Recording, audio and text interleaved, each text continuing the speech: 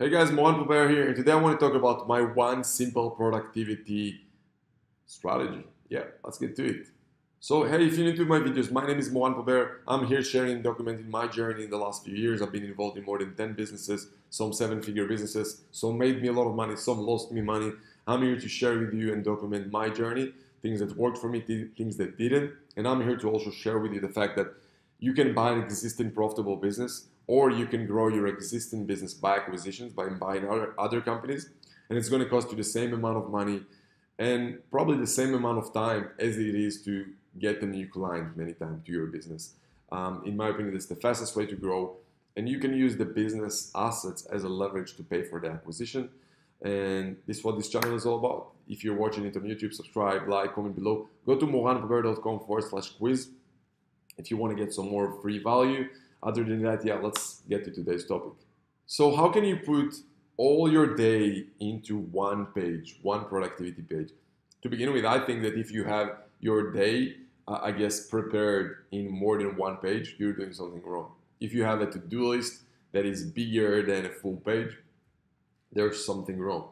Now, there's so many productivity methods out there. Um, you gotta have a to do list, have a to do list with this first and then that so many different options, so many courses and books about getting more productive.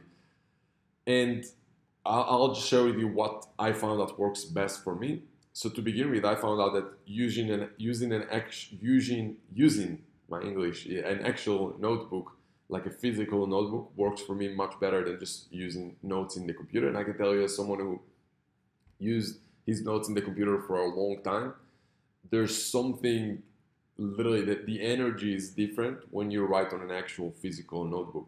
And you you are literally scratching your to-do list when you're done. There's something that, that, there's something different in the energy there that's gotta make you literally do that in the end of the day. When it's all in the notes and like um, with with uh, I guess technology. In my opinion it works less good as if you're using an actual physical notebook. So that's to, to begin with. Now what I found out for me is that it's less about having more to-do list it's more about having less things to do but that are actually going to move you more forward. So many times it means just having one big tasks for the day and just your goal for that day would be to complete that task no matter what.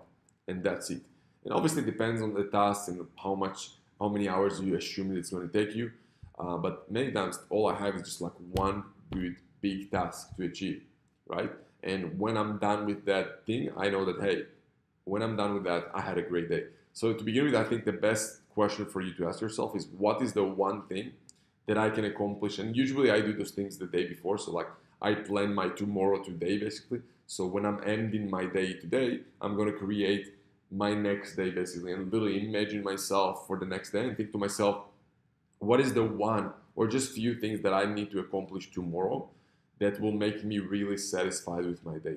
And literally think to yourself, what needs to happen in the end of the day, in the evening, that I'll think back of the day and think, okay, what have I done, and what I what needs to happen for me to feel satisfied. And you'll see that it comes down to very few things many times, to just like few keys, key most important things that you need to do in order to achieve them. And then I just write them in the order of importance for me, and I do them first thing. I do the first thing, I complete the first thing and then I scratch it from my to-do list basically. And then I go back to the next thing and I do that. And I do I don't do anything until I accomplish those things. I don't look at anything else. I forget about my emails, forget about my phone, forget about anything. I'm only thinking about those tasks. And remember, it's all about completing things and achieving things and not so if you have like five things on your to-do list and then you do a little bit from that, a little bit from that, but you're not actually completing things and finishing things, I think that's a big, uh, I guess, problem that I see with other entrepreneurs is that they never complete things. And remember, done is always better than perfect. You don't need perfect, you need things done. Imperfect action is always better than not taking action at all. We, we, let's say with no taking perfect action. So it's all about taking imperfect action, and done is better than perfect. You gotta complete things, you gotta finish things. That's the only way to move forward. You can always go back and adjust and change, but always move forward and change things. There's too much perfectionism in the world. People want to make things perfect, but being perfect in your head won't achieve anything. You got to go out there and implement. So that's that. Remember, have a to-do list, have the one thing you got to accomplish and finish things one at a time. And literally, guys, that habit alone, if you're to be consistent with that, so it's all about consistency, right? Consistency. If you're to be productive one day, but then the next 30 days you're to do nothing, you're not to do anything, um, nothing's to change in your life. Same, it's like working out, right? If you're to work out one day and then 30 days you're just to eat junk as much as you want, nothing will change. Nothing will make better. So you got to be consistent. Every day, repeat those things again and again. Like literally, if you'll do everything every day, the one most important thing, and you're to do it for the next year, your life is going to be different. I can promise you that. And feel free to come, come back to me after a year and tell me, you'll see your life is to be different in a year from now if all you're to focus on is just a few key, most important things in the day.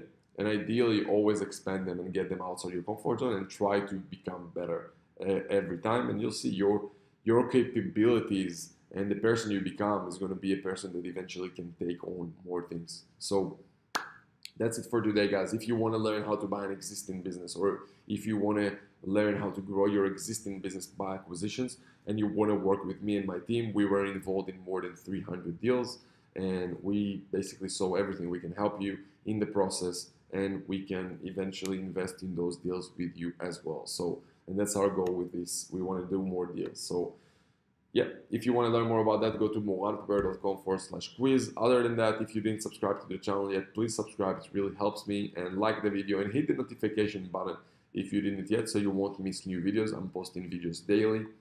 And yeah, that's it for today, guys. I hope you enjoyed it and I'll see you soon.